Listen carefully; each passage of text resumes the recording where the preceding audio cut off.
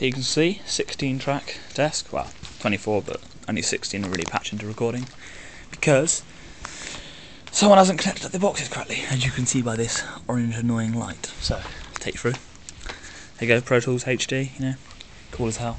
A few microphone cases here, down everywhere. Here's a live room, main room. All the band are in here playing at the moment, and there is the drum kit, fully mic'd. Well, fully mic'd, I say that, but it's not really fully mic'd, but it's mic'd enough. Um, yes, I've used the um, technique adopted by the guy who did the Beatles. I've forgotten his bloody name now. Uh, Glyn Jones, that's it. Glyn Jones, or Glyn Johns. So, one guitar, one snazzy guitar. The microphone the guy's using, this is just to keep the band in time, keep them tracked. Another guitar lying there, just as you do. Bass and headphone splitters, which don't actually work because the headphone splitter's fucked. Another nice view of that kit. Look at those cymbals. What a beast. Take you in here now. This is the uh, noisy guitar in where you have one Marshall, two Marshalls, both double mic'd. Uh, this one's mic'd on the front, but this one is mic'd on the back, as you can see.